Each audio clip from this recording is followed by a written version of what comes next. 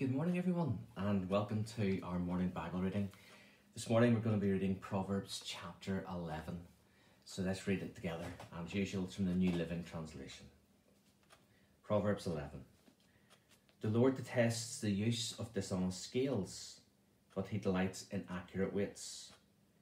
Pride leads to disgrace, but with humility comes wisdom. Honesty guides good people, dishonesty destroys treacherous people. Riches won't help on the day of judgment, but right living can save you from death. The godly are directed by honesty, the wicked fall beneath their load of sin. The godliness of good people rescues him, the ambition of treacherous people traps him. When the wicked die, their hope dies with them, for they rely on their own feeble strength. The godly are rescued from trouble, and it falls on the wicked instead. With the words, the godless deeds, the godless destroy their friends, but knowledge will rescue the righteous. The whole city celebrates when the godly succeed. They shout for joy when the wicked die. Upright citizens make are good for a city and make it prosper, but the talk of the wicked tears it apart. It is foolish to belittle one's neighbour, and sensible person keeps quiet. A gossip goes around telling secrets, but those who are trustworthy can keep a confidence.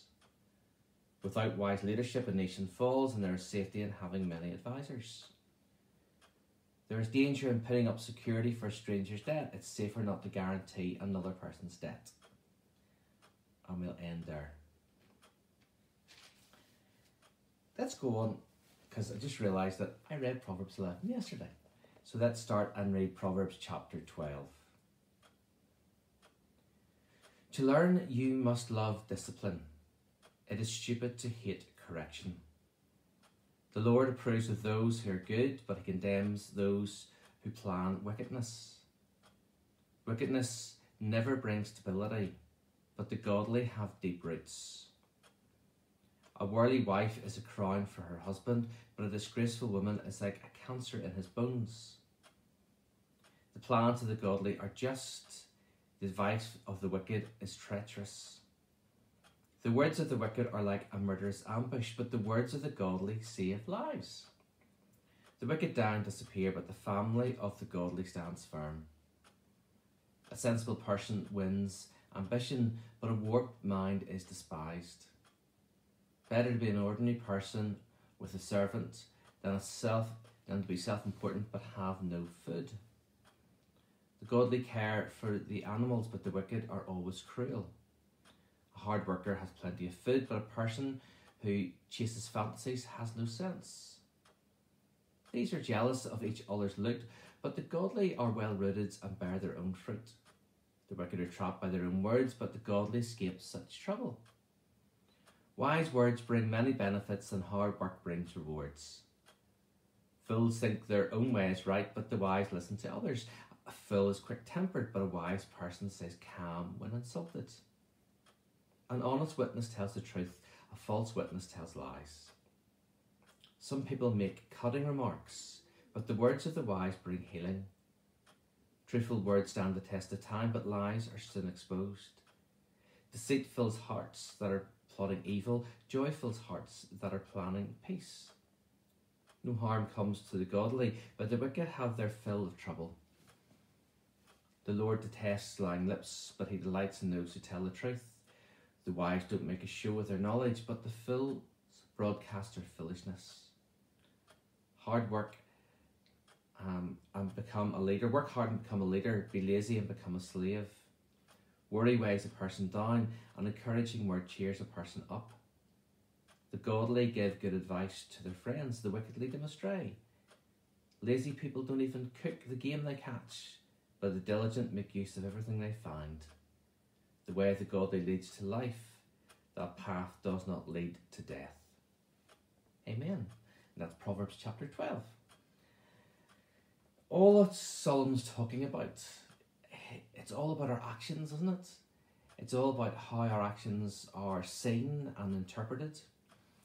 And like I said before, we can interpret these actions with regards to earthly actions, but also heavenly actions as well, our heavenly consequences.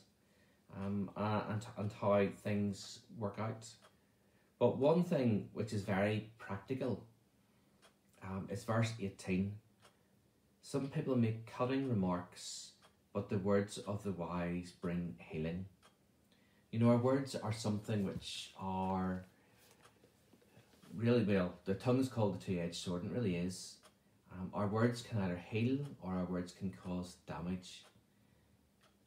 I don't know if you've ever seen the children's talk, um, which involves a tube of toothpaste, where you get the children to squeeze out some toothpaste.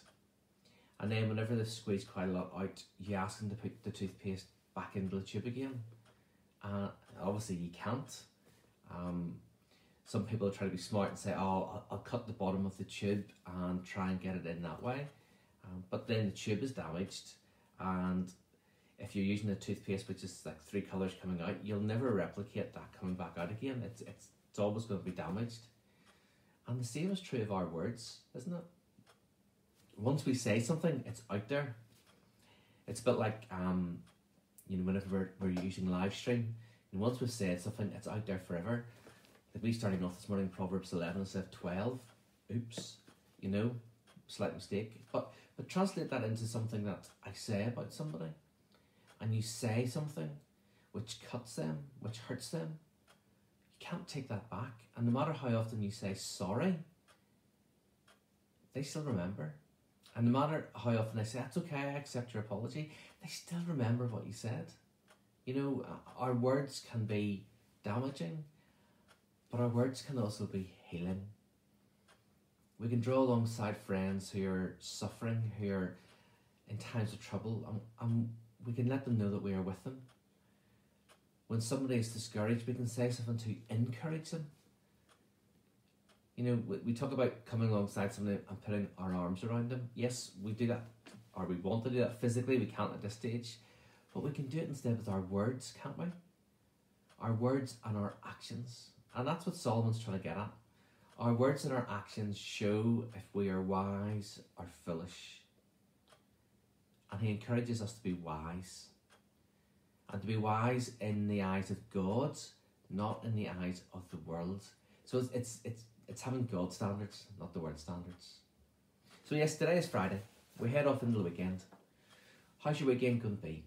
It's probably going to be very different from a normal weekend in that with lockdown we're not doing all that much, but we still we still will still see people either on camera, we'll talk to them on telephone, we'll see our family around us, and through our words and through our deeds, we can help them, encourage them, and show them God's love. Or we can be horrible to them. How do you want somebody to treat you? How would you want someone? How would you want your family to be treated? How are you going to treat those around you? That's the challenge that we face. We're going to pray in a moment, but just let me remind you that tomorrow is our day of prayer for uh, everything that's going on in the world at this time. So we're asking um, people from 8 o'clock in the morning to 8 o'clock at night just to join in, just during a half hour slot. Um, if you like to actually put your name against one of those slots, let me know um, and I'll do that. It's afternoon and evening that we need covered at the minutes. Um, I'm going to pu- publish the prayer points later on. Today I'll put up a snap, and then tomorrow morning I'll put up a post at, at 8 o'clock in the morning um, for the start of it. Uh, if you want to instead go onto our website, which is strean.org, and under our weekly announcements, again, you'll see that document which has suggested readings and prayer points for tomorrow. Please feel free to join in. If, if, if you can't do it tomorrow, that's fine if you can do it on Sunday or sometime during the week, please just don't think that it's it's tomorrow that we pray. It, you know, we can pray at any time, even today. Um, just have a look at those prayer points and bring something to God in prayer. So let's pause now and let's pray. Father, thank you again for another day. Thank you again for keeping us safe and bringing us into this day and the blessings of this day. Um, we, we thank you for them already. Lord, you are a great God who knows us and loves us, and at any time we can stop and we can talk to you, and we know you always hear us. We know you, you always answer us, and we thank you for that. Lord, for the challenge of our words, help us to be kind. Help us to speak wisely and kindly and supportively to others. not to be judgmental towards them, not to be cutting, but Lord, to use uh, words and actions which will encourage them and which will show your love. And in everything this day, Lord, just, just help us and guide us and direct us in the conversations that we have um, with other people, Lord. Just give us that wisdom. So thank you for now, Father, and continue with us, we pray. In Christ's name, amen. Thanks, folks. I see you again, uh, all being well, on Monday morning at again half nine. If you're free on Sunday morning and you're not doing church elsewhere, join us online for church at 11 o'clock. We'd love to see you. Um, and in the meantime, just take care and stay safe. Okay? Bye.